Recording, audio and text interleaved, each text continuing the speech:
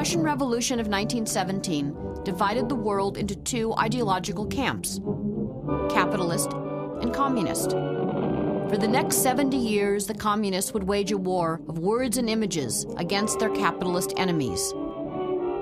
The goal? To capture the hearts and minds of the Soviet masses with disinformation. To turn them against the enemy, who they said ruthlessly exploited the average citizen to turn them toward the state run by peasants and workers, which cared about their welfare and guaranteed them health, education, and a shining future. A minority party with approximately 200,000 members, the Bolsheviks in 1917 assumed the leadership of 160 million people, scattered across the world's largest continuous landmass. They spoke more than 100 languages and were, for the most part, illiterate. Masters of visual propaganda, after seizing power, the Bolsheviks produced tens of thousands of political posters. Striking pictures and stirring slogans communicated party ideology.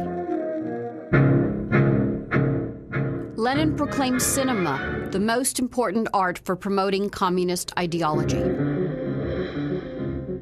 The animated war for the minds of the people began with short political commercials that delivered the state's message in a clear and entertaining manner.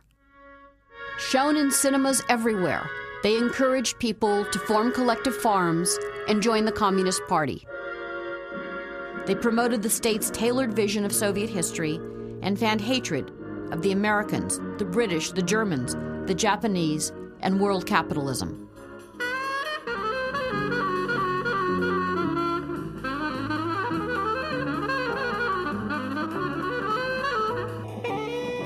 The country most regularly targeted by the animated propaganda films was the United States. It was important to keep the Soviet people, most of whom were locked up in the USSR, believing that they lived in the best country of the world.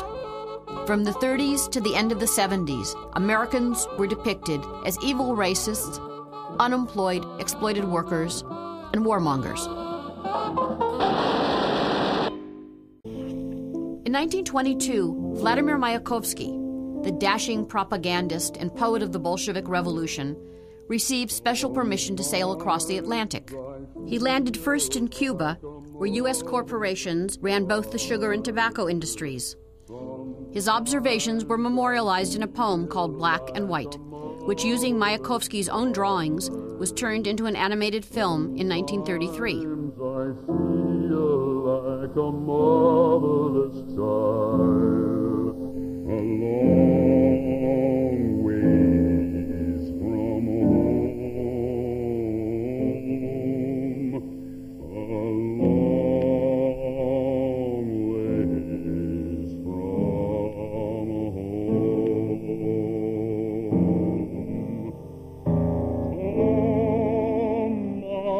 home. Black and White tells the story of Willie the old black shoeshine man. Willie makes the fatal mistake of asking the white sugar king, Mr. Brog, why should white sugar be made by a black man?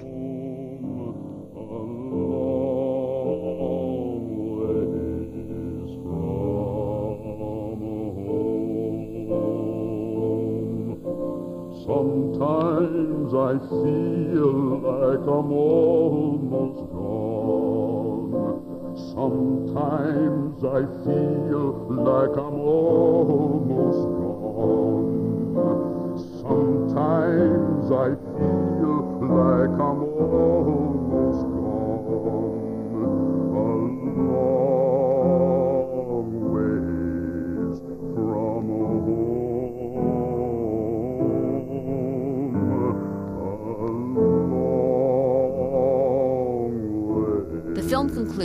Poor Willie didn't know he could ask the Communist International for help.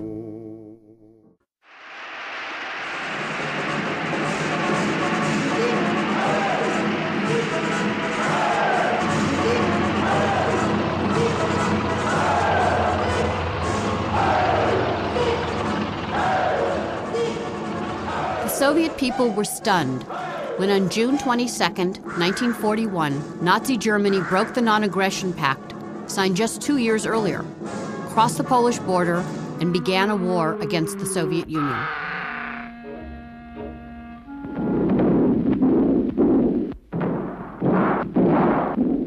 Немецкие полчища рвались к Москве. Затаив дыхание, слушала великого Сталина. Пусть вдохновляет вас в этой войне мужественный образ наших великих предков. Александра Невского, Дмитрия Донского, Кузьмы Минина, Дмитрия Пожарского, Александра Суворова, Михаила Кутузова. Пусть осенит вас победоносное знамя великого Ленина. Against all odds, the Soviet army forced the Germans to retreat from the USSR, ousted them from Eastern Europe, and captured Berlin. World War II would leave 20 million Soviets dead and a generation of wives without husbands and children without fathers. Germans, who had not previously been depicted in the animated propaganda films of the 20s and 30s, immediately became the ideological enemy of the Soviet masses. В начале войны, вот сразу же после первых же дней войны, наша студия почти вся переключилась на политплакат сатирические. Они рождались тут же на ходу, тут же и делались, что-то принималось, что-то не принималось, показывались. Но мы жили этим делом. Мы считали себя мобилизованными, обязанными это делать. Это был заказ. Но это заказ, на который мы отвечали действительно своим творчеством, энтузиазмом. Это такое время было. Stirring songs, documentary and feature films, caricatures, and animated political cartoons helped keep high the spirit of the Soviet people. On May 9, 1945, Nazi Germany capitulated. The Soviet victory was celebrated with animation.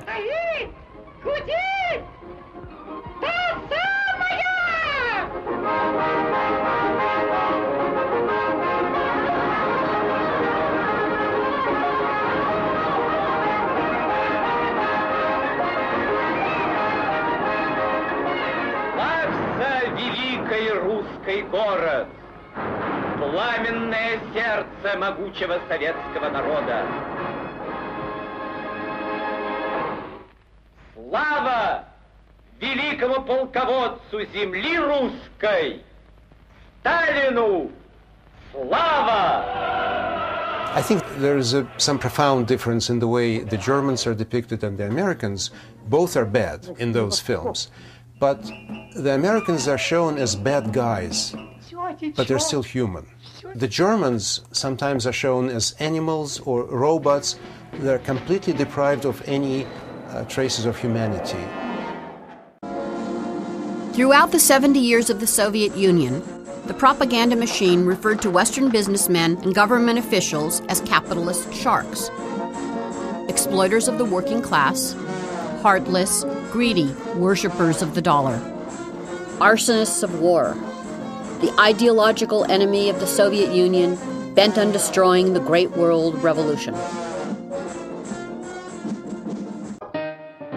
One of the most politically impassioned animators of the 20s was Yuri Merkulov, whose work on early black and white propaganda films became the benchmark for animated stereotypes of capitalists and warmongers. Forty years later, during the Cold War, Merkulov was still making animated propaganda films based on the images he created in the 20s.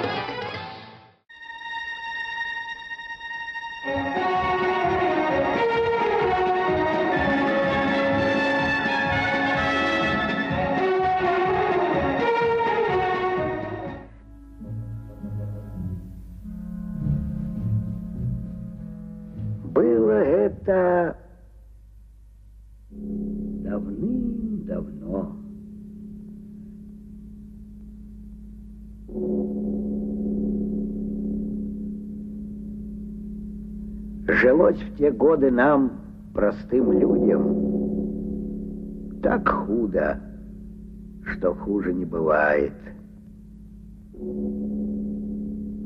Ох и худо же... From the 1920s to the 1980s, dozens of animated films recounted the official version of how the Bolsheviks liberated the Russian people. First, there were the bread riots of 1905. The Tsarist government ordered hungry Russians shot rather than fed.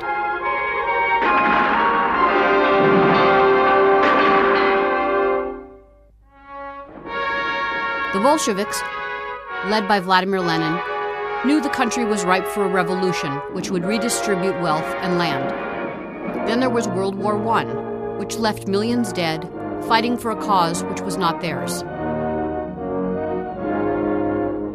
In 1917, a bourgeois revolution forced the Tsar to resign. A provisional government was established at the Winter Palace in St. Petersburg.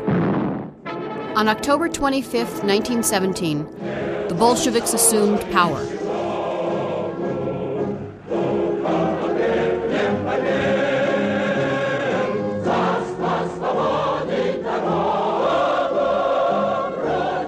They abolished the provisional government promised peace, land, and bread. Civil war broke out. Умри, мой стих, умри, как рядовой, как безымянные на штурмах мерли наши.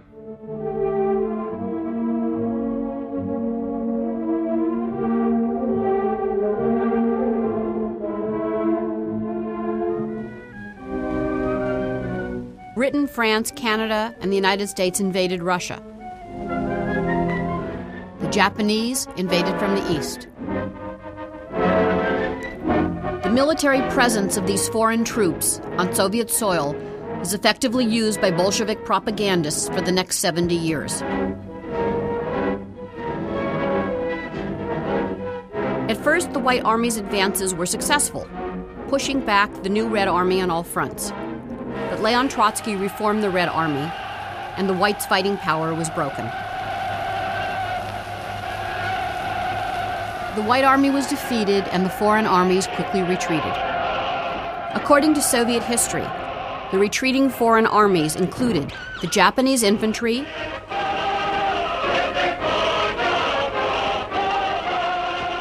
the Polish army,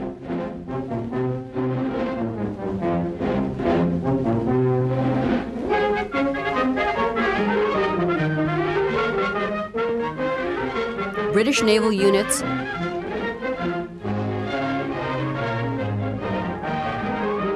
and the Japanese Marines.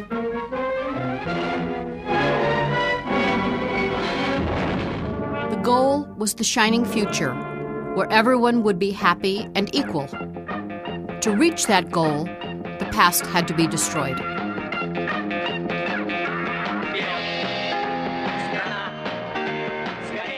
In Time Forward, director Vladimir Tarasov animated poems written by Mayakovsky in the 20s. They advance the party line everything old should be destroyed to make way for the new order. Joseph Stalin abolished NEP in 1929 as a means of economic stimulus. He replaced it with five year plans.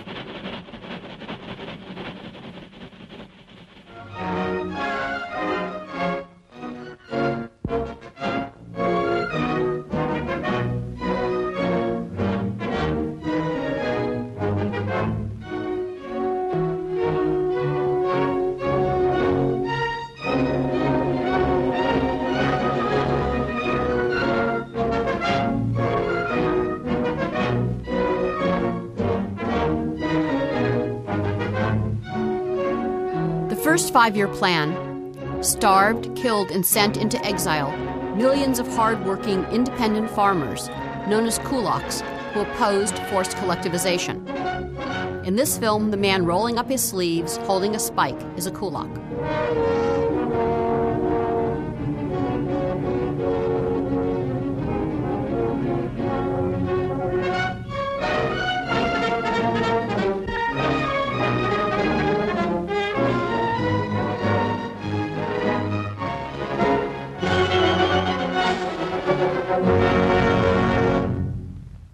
second five year plan rewarded productivity. The most famous worker was Alexei Stakhanov. In this film, his mighty achievements infuriate a foreign capitalist. Забойщик шахты Центральная Ирмино в Донбассе Алексей Стаханов вырубил за одну смену 102 тонны угля, превысив норму в 14 раз. Что? В 14 раз? Невероятно! С современной точки зрения не, невероятно! Ширится стахановское движение, ломая старые капиталистические нормы.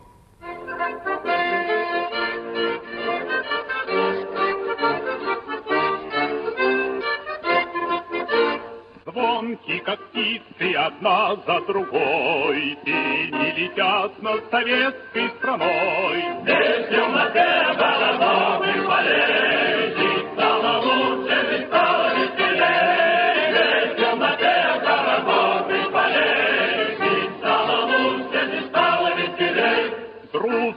Страна и растет, и поет, Песнею новое счастье кует. Глянешь на солнце, и солнце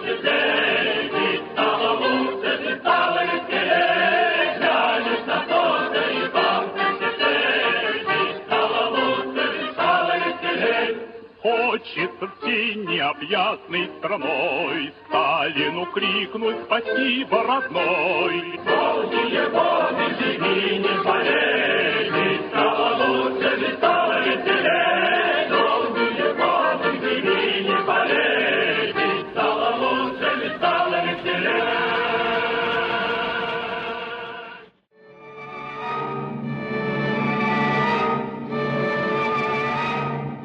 By 1972, when this film was made, communism had brought to the people of the USSR literacy, education through a system of free schools and universities, health, including hospitals and free medical care, guaranteed employment.